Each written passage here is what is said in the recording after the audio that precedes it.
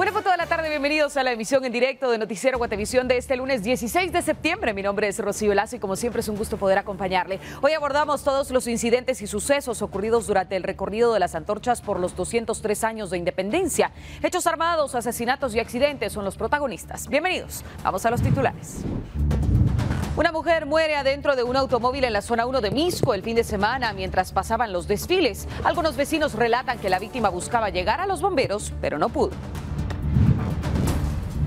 El Congreso de la República empezará a discutir una ley que promueve aumentos salariales a policías. La iniciativa también contempla sancionar por confeccionar uniformes policiales.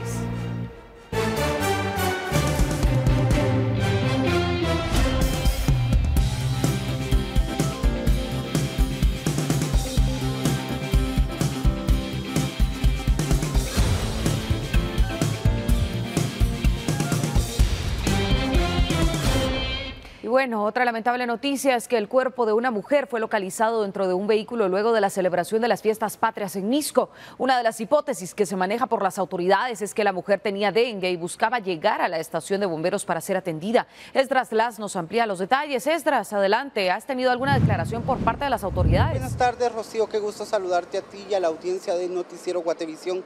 Déjame comentarte que estamos ubicados en la quinta calle y sexta avenida de la zona 1 de Misco, donde las autoridades de los bomberos voluntarios dieron a conocer eh, la localización del cadáver de una mujer identificada como Otilia Andrea Canel Chávez, de 39 años de edad. La mujer habría sido localizada la noche del 15 de septiembre eh, en este lugar según dieron a conocer las autoridades, la causa de muerte podría estar relacionada al dengue. Eh, las autoridades la localizaron a unos metros de la estación de los bomberos. Se cree que esta mujer iba en búsqueda de la atención que los bomberos le podrían dar derivado a una caída que ésta tendría dentro de su residencia.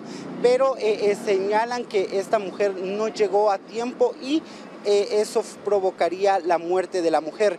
Por su parte, las autoridades del Ministerio Público dieron a conocer que ellos están realizando la investigación correspondiente para poder determinar eh, cómo sucedió este hecho, ya que los vecinos de esta área señalan que la mujer habría, eh, se habría topado con complicaciones para pasar derivado a las festividades que se estaban realizando en estas zonas, mientras que otros de los vecinos eh, de este lugar señalaron que la mujer no habría logrado llegar hasta la estación, pero que el paso sí estaba. Escuchemos las declaraciones de ambas partes. Verá que la verdad que sí había tráfico porque estaban pasando los desfiles y no se podía pasar.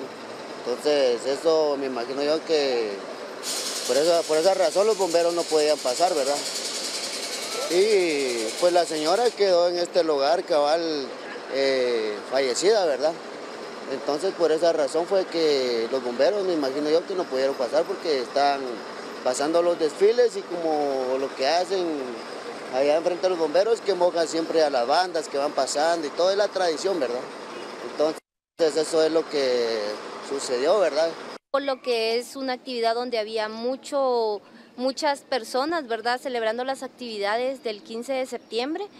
Eh, desafortunadamente, ¿verdad? Em, eh, cabalmente yo vi al subir una ambulancia que estaba ahí atorada, eh, perdón, ahí puesta y lo que pasó por mi mente fue de que yo dije cómo hay personas que no le pueden dar vía a la ambulancia. Cuando fui acercándome a la ambulancia me di cuenta que había mucho tráfico, aparte del tráfico había una gente exagerada, exageradamente gente, ¿verdad? Por la actividad del 15 de septiembre. Hoy sí, porque la multitud de gente fue donde nos dimos cuenta que mm, había una persona fallecida en un carro pero por lo que comentaban aquí la gente que era que venían para de los bomberos, pero como se llama ya no les eh, ya no les dio tiempo llegar, ¿verdad? Entonces, eh, como que le dio un paro cardíaco a ella ahí, ahí quedó ella. Ante estas declaraciones, como equipo de Guativisión nos dimos a la tarea de buscar la postura de la municipalidad para determinar lo que sucedió y ellos nos señalaban que al momento de este hecho el paso estaba libre y que estaban terminando las festividades que se tenían en este lugar, pero que esto no habría impedido que la mujer llegara hacia la estación de los bomberos voluntarios. Escuchemos un poquito la postura que nos dio la municipalidad. En la cuarta calle y sexta avenida se tuvo expedito el paso, no interfirió ningún desfile a esa hora, luego de que todos estaban posicionados frente a la municipalidad de Misco. Los establecimientos educativos estaban en acto cívico y no representó ningún inconveniente ya que ahí se parquean los taxis y también hay fotografías donde los taxis estaban esperando salir, esperando a sus clientes y por ende se deja esa arteria principal con total movilidad y también calles alternas. Es por eso que no pudo eh, perjudicar el paso de ninguna ambulancia y tampoco este vehículo que trasladaba a la fémina que se dice que falleció dentro del automóvil. Desconocemos el móvil del hecho, tendrá que ser el Ministerio Público. No obstante, siempre estamos para salvaguardar la vida de nuestros ciudadanos, garantizarla. Y en efecto, eh, también tenemos a nuestros bomberos municipales de Misco y tenemos nuestras cámaras de monitoreo, de las cuales eh, no persistió ningún inconveniente al momento de su traslado. No obstante, eh, se dice de que fue por dengue, otros indican otras versiones, de la cual, como le digo, no podemos esclarecer el hecho serán las entidades correspondientes. Según la investigación que el Ministerio Público hizo preliminarmente, ellos tienen el dato que la mujer habría tenido dengue y esto habría provocado que ella tuviera algún tipo de complicaciones de salud. Pero los bomberos señalaron que esta mujer también tendría algunos golpes en distintas partes de su cuerpo. Por ello, la eh, investigación que está realizando el ente investigador podrá determinar las causas de la muerte, ya que el INASIF ha señalado que ellos no tienen registro todavía del ingreso de Otilia Andrea Canel Chávez de 39 años. Esta es la información que yo tengo hasta el momento con imágenes de mi compañero Emilio Chan, reportó Esdras Las. Este caso revela que compañías que reciben fondos del Estado tenemos indicios que se han apropiado del IVA y se han negado a pagar impuestos sobre la renta. Según la dirección que se repite en más de 200 compañías, es una dirección que no existe no podemos permitir lo que hoy vamos a revelar.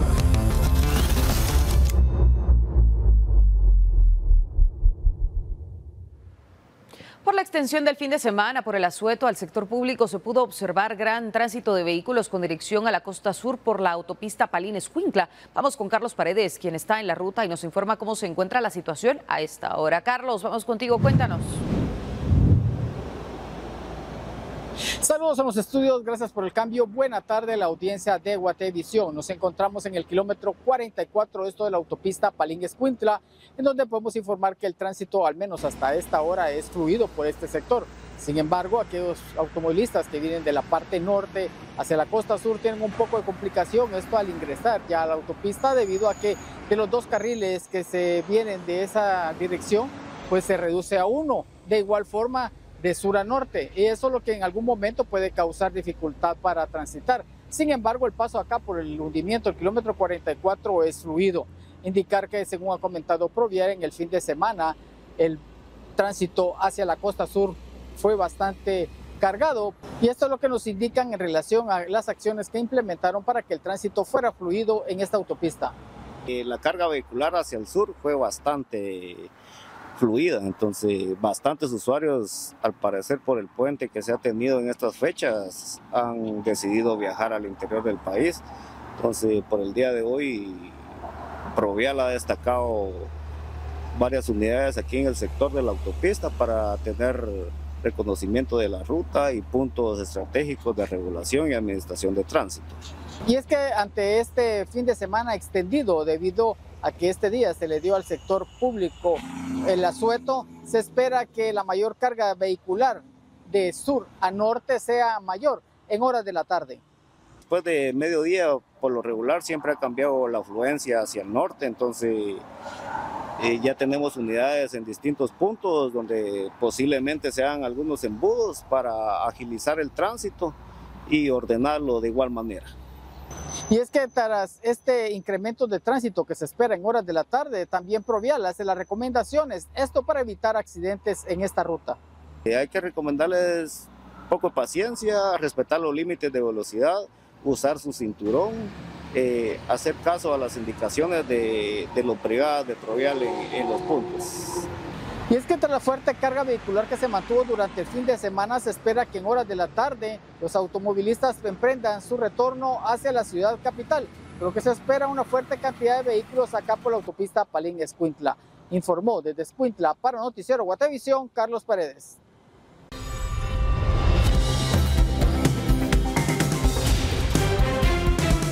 Vemos en este momento los mensajes que ustedes, nuestros televidentes, nos han hecho llegar a nuestro WhatsApp de Guatereporta. De Huehuetenango recibimos el reporte sobre un asalto que terminó en tragedia. Se trata de los ocupantes de un pick-up que fueron interceptados por hombres armados que tras consumar el robo lanzaron un artefacto explosivo al vehículo, causando la muerte de dos hombres. El mensaje da cuenta que el hecho ocurrió el viernes pasado entre Chacaj y Castavida, en Nintón.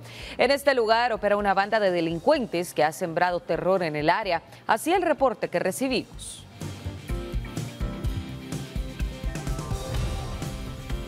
Damos paso al reporte que recibimos de Retaluleu. Se trata de imágenes que muestran algunos daños que han dejado las lluvias y fuertes vientos que se han registrado en el municipio de San Martín Zapotitlán.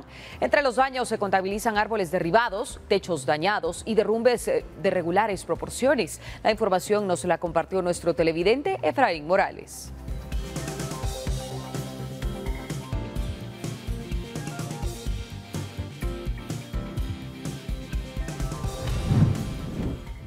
El segmento Versos por Guate, la niña Génesis Calderón nos trae un mensaje sobre la importancia de cuidar el aire para nuestra vida.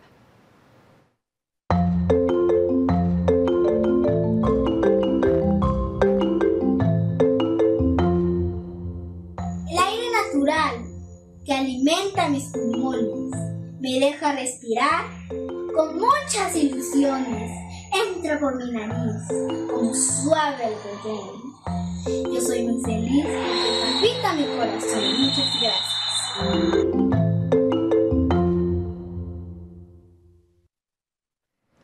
Euforia de las fiestas de independencia, varios guatemaltecos salen a las calles a correr con antorchas en conmemoración a esta fecha importante, pero cada grupo tiene su particularidad. En este caso, un video que circula en redes sociales muestra una antorcha bastante peculiar, siendo encabezada por una pareja de recién casados. Esto ocurrió en Cobán, Altamira Paz, y muestra al esposo con la antorcha en alto y la novia con el ramo en la mano, siendo vitoreados por un grupo de corredores.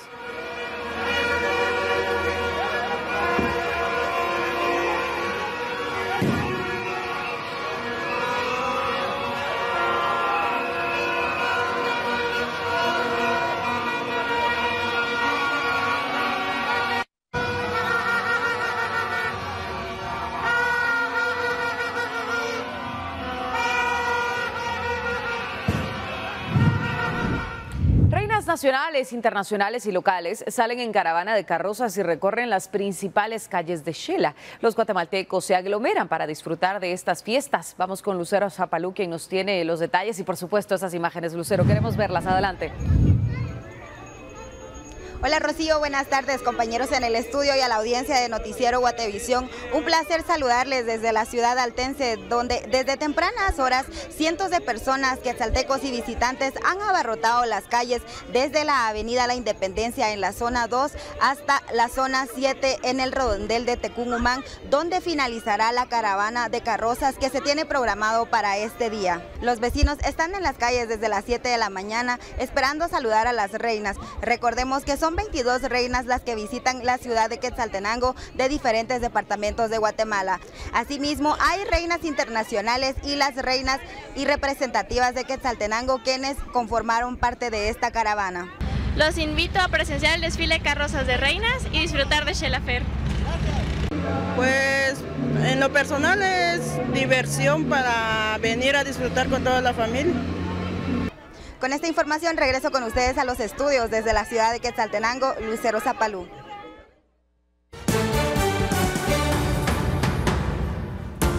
Vecinos de Huehuetenango piden ayuda luego de los estragos por inundaciones de la semana pasada. Los detalles de la situación se los contamos en Noticiero Guatevisión.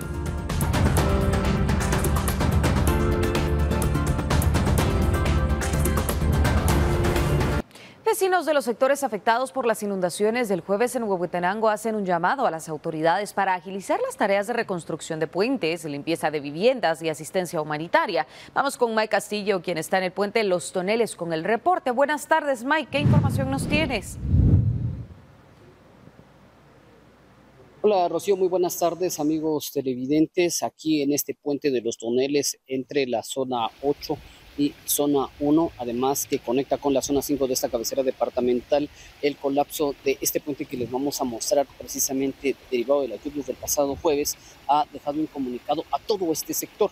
Este puente eh, que fue dañado desde el 2005 y que no tuvo el mantenimiento correspondiente colapsó como parte de los daños que ocurrieron durante esta tormenta que ya les indicamos.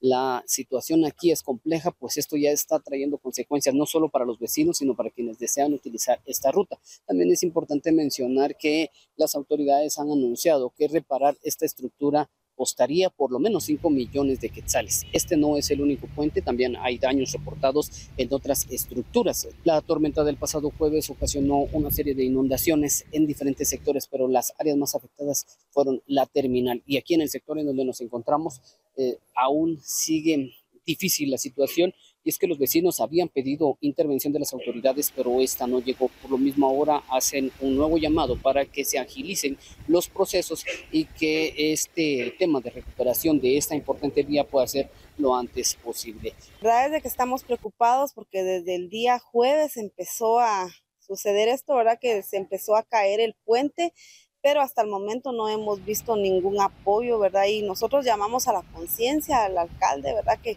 que ponga la mano en el corazón y puedan venir a, ver cómo nos ayudan, porque primero que nada, pues este puente es muy importante para la ciudad porque ayuda a descongestionar el tráfico, ¿verdad? Y son vías que nos sirven para el crecimiento y desarrollo del departamento, ¿verdad? Entonces ahora nosotros lo que necesitamos es, ¿verdad?, ver de qué manera y que lo hagan de manera urgente, primero porque eh, necesitamos ¿verdad? la seguridad de nuestros vecinos aquí en este sector debido a que el río pues está socavando. La verdad que nos afectó bastante porque la verdad somos varios, no solo soy dijera, sino que somos varios los locales que estamos por acá y estamos afectados por lo mismo pues.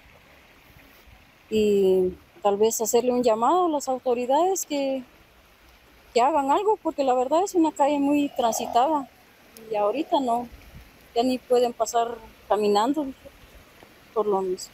Lo que ha pasado aquí toda la vida es que el puente ya lleva como desde el huracán Mitch, le carcomió allá, vinieron a hacer un muro eh, y vinieron a hacer un planchón aquí enfrente, lo que es esto, porque antes era un puente de piedra, entonces le hicieron una parrilla de hierro y fundieron esto, pero conforme los años va escarbando y escarbando y ayer llegó a su límite el puente que colapsó, colapsó, se hundió, ya el puente está inservible. El 9 de noviembre, el invierno pasado, nos carcomió el, el río, el muro este de nosotros y se cayó el 9 de noviembre. Fui con el alcalde tres veces y no, no me ponía atención, hasta el fin me atendió y dijo, sí, esto es un caso de emergencia, no nos tomó en cuenta realmente que era emergencia. Las autoridades en un principio habían estimado las pérdidas en 7 millones de quetzales, sin embargo esto se ha ido incrementando. Aún no hay un dato exacto, pues siguen los trabajos de evaluación de daños, dicen las autoridades. La información que tengo hasta ahora, con ello regreso con ustedes a los estudios desde Huehuetenango, reporta Castillo, Noticiero, Guatevisión. En el Congreso avanza el interés para aprobar una nueva ley de la PNC que contempla aumentos salariales cada dos años y hace cambios en la carrera policial, que en los últimos años se han visto señalados por supuestos cobros para promover ascensos. La propuesta comenzará su camino para ser aprobada. Vamos a conocer los detalles con Henry Montenegro. El martes de la semana pasada, la Comisión de Asuntos de Seguridad Nacional le dio dictamen favorable a una iniciativa que busca aprobar una nueva ley de la Policía Nacional Civil.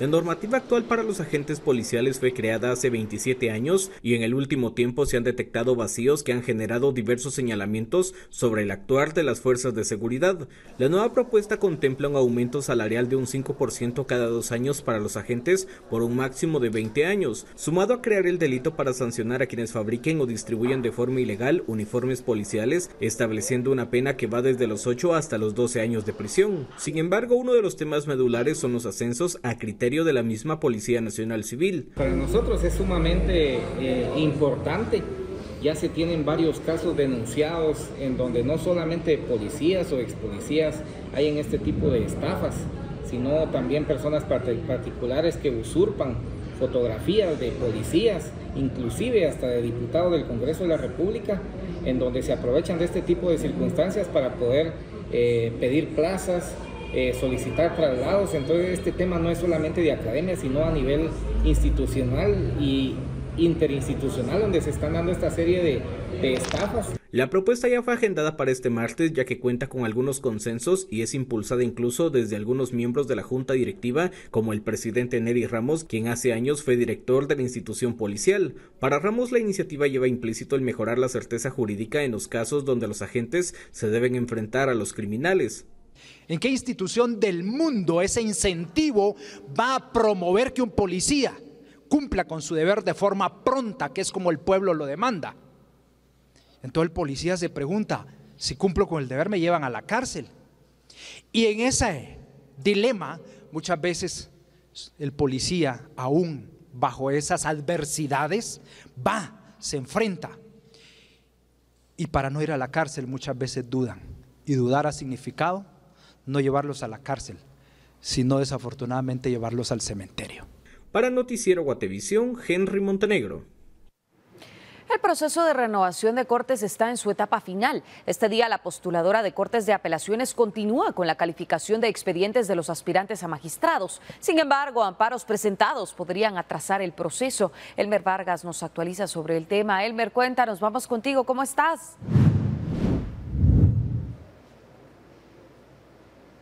Rocío, buenas tardes, qué gusto saludarte a ti y a toda la audiencia de Noticiero Guatevisión. Nosotros nos encontramos en la sede de la Universidad Rafael Andívar, acá donde continúa el trabajo de la Comisión de Corte de Apelaciones. Acá este día continúan las ternas o las diferentes ternas que se han conformado para poder continuar con la revisión de los expedientes de aquellos candidatos que aspiran a poder integrar las diferentes Cortes de Apelaciones. Recordemos que es para el periodo 2024-2029. Pero ¿qué ha sucedido hasta ahora o qué podemos informarnos? En primera instancia, recordar que la tabla de gradación o la calificación por la cual realiza las revisiones cada una de las ternas es de 64 puntos, es decir, la validación de todos los expedientes y los documentos que presentan cada uno de los aspirantes, ellos realizan una calificación y posteriormente realizan el puntaje o colocan el puntaje respectivo y que esto permitirá que ellos puedan continuar con este proceso.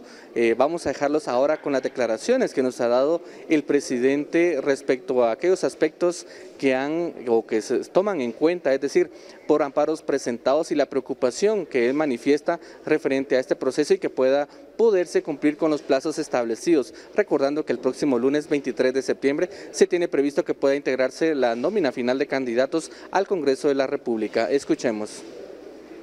Gracias. Sí, en efecto se han recibido hasta el día de hoy aproximadamente 15 amparos eh, dos de los cuales han sido dados con lugar a una misma persona, a una misma postulante.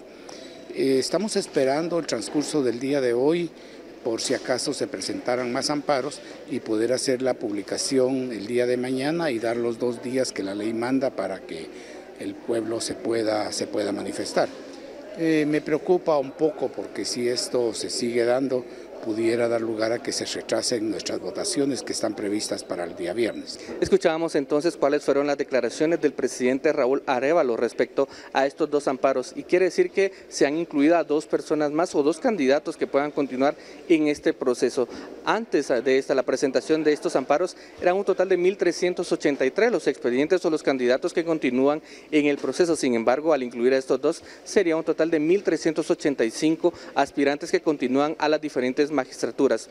Posteriormente, como les mencionaba, eh, la, corte, eh, la, Comisión de Postulación hará la elección de 312 candidatos, los cuales serán presentados al Congreso de la República, quienes posteriormente estarán eligiendo a 153 representantes titulares y 52, eh, en este caso, suplentes que integrarán las diferentes salas de la Corte de Apelaciones. Esta es la información que nosotros tenemos a esta hora desde la sede de la Universidad Rafael Andívar, en donde continúa el trabajo de la Comisión de Postulación para la elección de Magistrados de Corte de Apelaciones. Esta es la información que yo tengo. Yo regreso a los estudios con imágenes de Daniel Samayoa, reportó Elmer Vargas.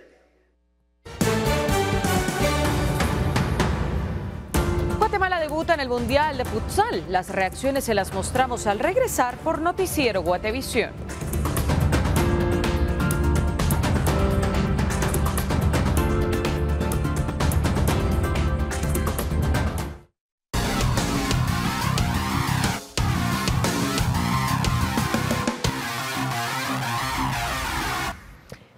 Para las dos de la tarde, la Selección Nacional de Fútbol Sala de Guatemala cayó en su debut en el Mundial de Uzbekistán, donde se enfrentó al combinado de Francia. Pese a que la selección guatemalteca se puso en ventaja con dos goles, se dejó alcanzar y terminó cayendo seis goles a tres contra el cuadro galo. Guatemala comparte grupo con Irán, Francia y Venezuela. El combinado nacional volverá a jugar el jueves y enfrentará a Irán, que es una de las selecciones mejor ranqueadas en el mundo. Irán viene de golear 7 a 1 a Venezuela, luego del partido, algunos jugadores y el técnico de la selección nacional se refirieron al debut en la Copa del Mundo.